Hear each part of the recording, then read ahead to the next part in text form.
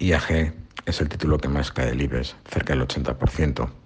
Y si bien es cierto que en el corto plazo no descartamos un rebote hacia la zona de los 1,10 e incluso la zona de los 1,20, 1,21, donde tenemos un pequeño hueco bajista diario, lo cierto es que la tendencia no puede ser más bajista. Los máximos y mínimos decrecientes están ahí, son impecables y ya no hay soporte alguno hasta la zona de los 0,78, 0,80, que son los mínimos de 2011, incluso por debajo de la zona de los 0,60, que son los mínimos de 2008.